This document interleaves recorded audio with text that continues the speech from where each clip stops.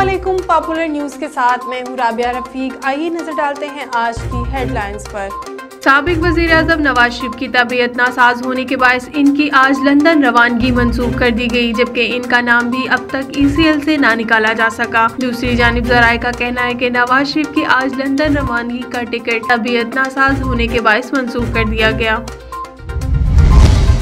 وزیر اعظم کی معاون خصوصی برائے اطلاعات و نشریات فردوس عاشق وان نے کہا کہ مولانا چھکوں سے اب رک رک کر کھیلنے کی پوزیشن پر آ گئے ہیں۔ اسلام آباد میں میڈیا سے گفتگو کرتے ہوئے وزیر اعظم کی معاون خصوصی فردوس عاشق وان نے کہا مولانا مسلسل چھکے لگا رہے تھے لیکن اب وہ رک کر کھیلنے کی پوزیشن پر آ گئے ہیں۔ ٹھر ٹھراتی سردی میں کارکنوں کو بھی مولانا والا بستر میسر ہونا چاہیے۔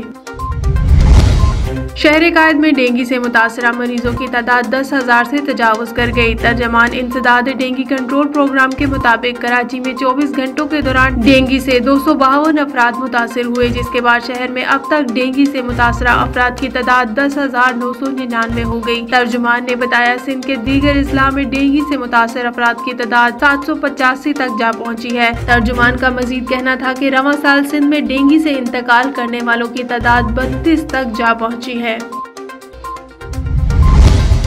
بہاول پور کے علاقوں میں جشن عید میلاد النبی کا دن انتہائی عقیدت و احترام کے ساتھ منایا گیا۔ جشن عید میلاد النبی کا جلوس گوٹ محراب رنگ پور اڈا شہیدہ سے ہوتا ہوا واپس گوٹ پور محراب احتدام پذیر ہوا، جہاں پر لنگر کا وسیع انتظام کیا گیا۔ پاکستان کے مختلف شہروں کی طرح ہری پور، میاں والی، چنیوٹ، سرگودا، پسرور میں بھی بارہ ربیع الاول کا دن انتہائی عقیدت و احترام کے ساتھ منایا گیا۔ جگہ جگہ جلوس کا شاندار استقبال کیا گیا۔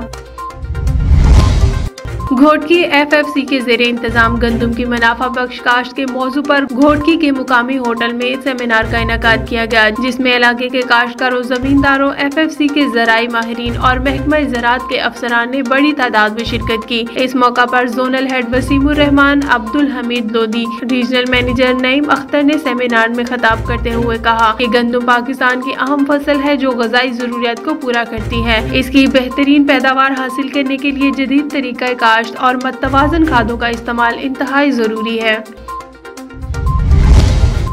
سہون کے نواحی گاؤں میں رن برادری کا زمینی تنازع پر مری برادری کے خلاف احتجاجی مظاہرہ۔ میڈیا سے بات کرتے ہوئے کہا کہ مری برادری کے لوگوں نے ہماری زمین پر قبضہ کر کے با اثر کی پشت پناہ سے ہمارے خلاف ایف آئی آر درج کروائی ہے۔ ایف آئی آر درج کروانے پر ہم سخت الفاظ میں مذمت کرتے ہیں۔ نیوز روم سے فی الوقت اتنا ہی مزید جاننے کے لیے دیکھتے رہیے پاپولر نیوز